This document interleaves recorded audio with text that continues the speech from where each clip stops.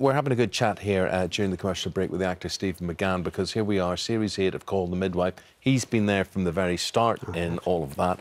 Not only that, but his wife created the series and writes for it, so she has his future. Got the ultimate power. oh, how I'd love that. In her.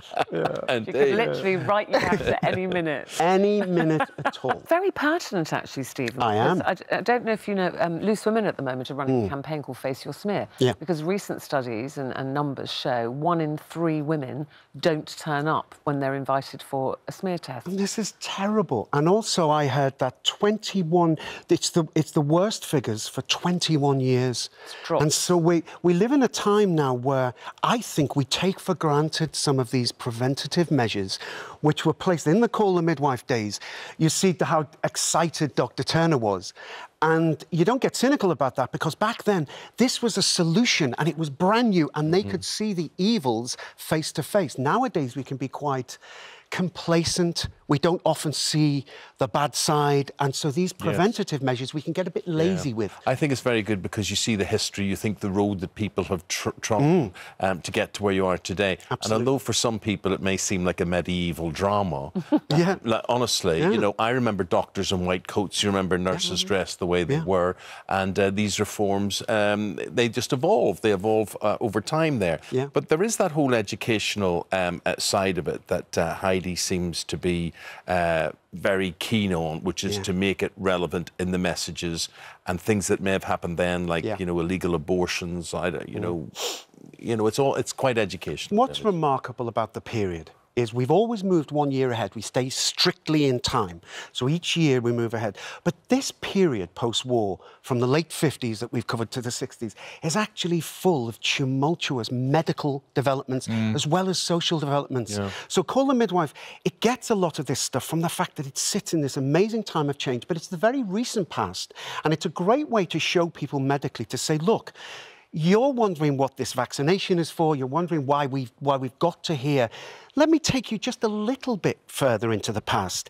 This is why maybe we set all of this up with so much effort in the first place. Come and have a look. Come and see what people look like who suffered from some of these problems. Yeah. Come and see what it's like, and you'll soon realise why we got to here. And I think that's it's not just about nostalgia, is no, it? I mean, people kind of go, oh, it's nostalgic, it's lovely. No. But it's also to show people how people did have to live and the and the changes. And they really and did. how people strive to make those changes. And nurses on nurses on bikes bikes and things. Uh, yeah, yeah. those things. And I think um, we've forgotten that. Would you? Would you? Do, do you think after playing Turner, would you have? Would you like to be a doctor? Would you have liked to have been a doctor? I would make the world's worst doctor. I can tell you that right now. I'm terrible at it. And the great thing is we have these medical experts on set who make me look great as a doctor. but you know the nicest thing when I get stopped by GPs is they say, because um, we do that very accurately and we, we, we, care about that.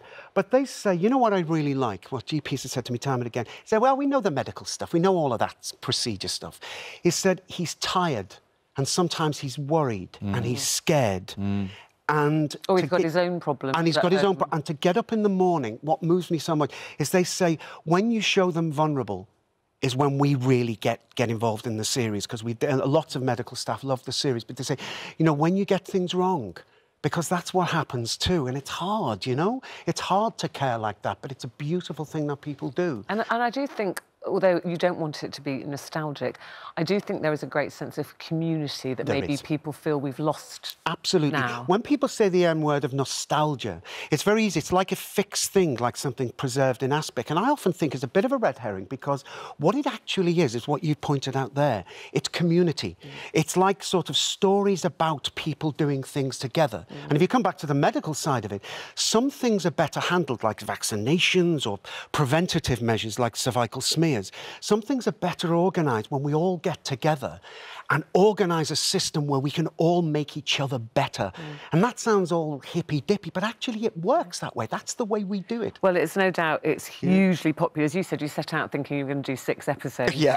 And here you are. popular enough to be a movie, a film. A movie. People are starting to talk about a film. First yeah. answer to that was anyone who wants to come along and make me a film star, they can come along. yeah. Well, you know, Downton well, Abbey is going to be a film. Yeah. yeah. you see, as long as it's kind of Dr. Turner the movie, it'll be be fine. Let them come in for a little part around me. That'll be fine. And as long as your wife writes it and makes sure no, you're I, in it. and I don't say anything the wrong way. Does your wife critique your performances? Never, ever, ever, ever. We have a sort of unspoken thing is I don't look over her shoulder when she writes. She doesn't like look at the way I, I do lines or whatever.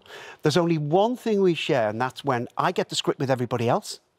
And then she gets really nervous because she knows I'm reading the script for the first time. Yes. She hangs around outside the bedroom door. I go into Gonna the bed- grunt or groan or Yeah, and I got every single thing. And there was one brilliant moment where I came out of the bedroom. She's wanting to know if I laugh at the funny bits, cry at the sad bits. And I came out, tears streaming down my face one day. Only a minute in, particularly sad. You, you, and she was chuffed. oh, good, There you excellent. She you made you cry. Yeah. Well, listen, we Great all love the you, series. Uh, it's Sunday evening, of course, um, and long may it continue. Thank you very Thank much. Thank you, Stephen. Thank you, Stephen McGann there.